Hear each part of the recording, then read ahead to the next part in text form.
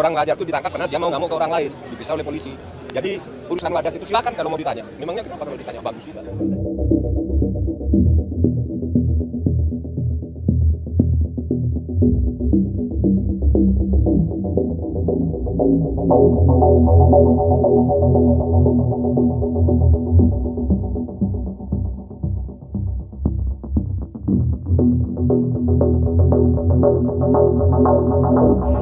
Wadas itu isunya pelanggaran HAM.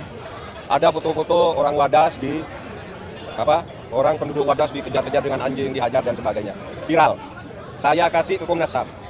Karena sesudah saya tanya ini kasus di mana kadang-kala ada polisi bawa anjing itu di tempat lain. Diviralkan ini orang polisi tengah malam bawa anjing itu. Saya minta ke Komnas HAM tolong selidiki. Kalau ada pelanggaran HAM, saya turun tangan. Laporan Komnas HAM resmi, laporan Komnas HAM resmi tertulis diumumkan kepada publik. Wadas itu tidak ada pelanggaran HAM, semua prosedurnya sudah sesuai. Kalau tidak percaya tanya ke Komnas HAM. Karena saya minta Komnas HAM kalau ada pelanggaran HAM, ayo dong Komnas HAM turun. Kalau benar terjadi saya turun tangan. Saya tunggu-tunggu laporannya tidak ada Pak pelanggaran HAM. Bukti-bukti yang viral itu semua itu buatan. Tidak ada polisi ngejar anjing, tidak ada orang menghajar orang.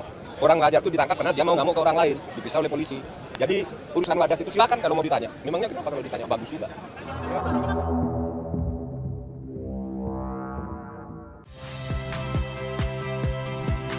Saya Harjuno Pramendito.